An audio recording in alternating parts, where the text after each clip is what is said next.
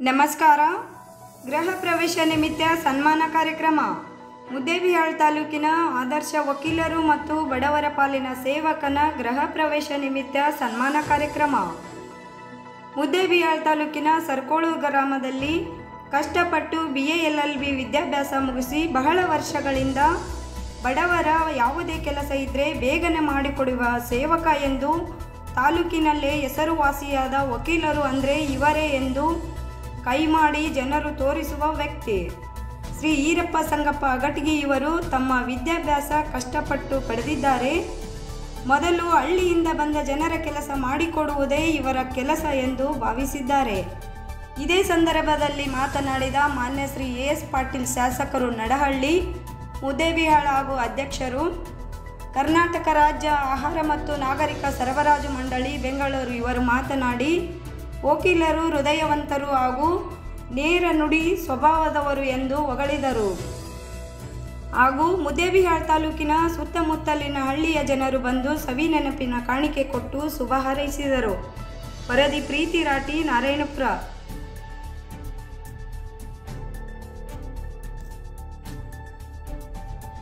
ಮಾಡಿಕೊಳ್ತೇನೆ.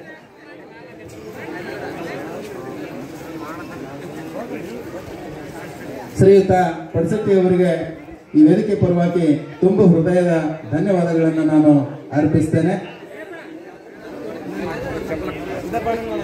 ಶ್ರೀಯುತ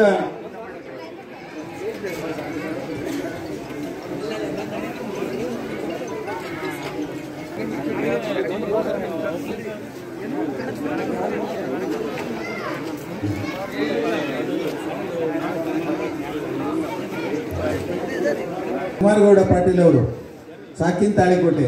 ಇವರು ವೇದಿಕೆ ಮೇಲೆ ಆಗಮಿಸಬೇಕು ಕುಮಾರಗೌಡ ಪಾಟೀಲ್ ಅವರು ವೇದಿಕೆ ಮೇಲೆ ಆಗಮಿಸ್ತಾ ಇದ್ದಾರೆ. ಶ್ರೀಯುತ ಕುಮಾರಗೌಡ ಪಾಟೀಲ್ ಅವರು ಹಗಟಿಗೆ ದಂಪತಿಗಳಿಂದ ಪ್ರೀತಿಪೂರ್ವಕವಾದಂತಹ ಈ ಸನ್ಮಾನ ಹಾಗೂ ಮಾಡಬೇಕೆಂದು ನಾನು ಅವರಲ್ಲಿ ವಿನಂತಿಯನ್ನು ಮಾಡಿಕೊಳ್ತಾ ಇದ್ದೇನೆ. ನನಗೆ ಸ್ವತಃ ಬಂದು ಆಮಂತ್ರಣ ಕೊಟ್ಟು ನಾನು ಹೇಳಿದೆ, ಯಾವ ಕಾರಣಕ್ಕೂ ತಪ್ಪಿಸೋದಿಲ್ಲ, ಬರ್ತೀನಿ ಅಂತೇಳಿ ಕರೆಕ್ಟ್ ಟೈಮ್ ನನಗೆ ಹನ್ನೆರಡು ಗಂಟೆ ಟೈಮ್ ಕೊಟ್ಟಿದ್ದು ಹನ್ನೆರಡು ಹತ್ತಕ್ಕೆ ಬಂದಿದ್ದೆ ನಾನು.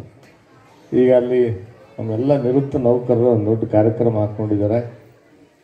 ನನಗೆ ಅನಿವಾರ್ಯ ಇರೋದ್ರಿಂದ ನಾನು ಇಲ್ಲಿಂದ ಆ, ಕಾರ್ಯಕ್ರಮದಲ್ಲಿ ಭಾಗವಹಿಸ್ಲಿಕ್ಕೆ ಹೋಗ್ತಾ ಇದ್ದೇನೆ. ಎಲ್ಲ ನಮ್ಮ ಹಿರಿಯರು ಇಲ್ಲೇ ಇರ್ತಾರೆ.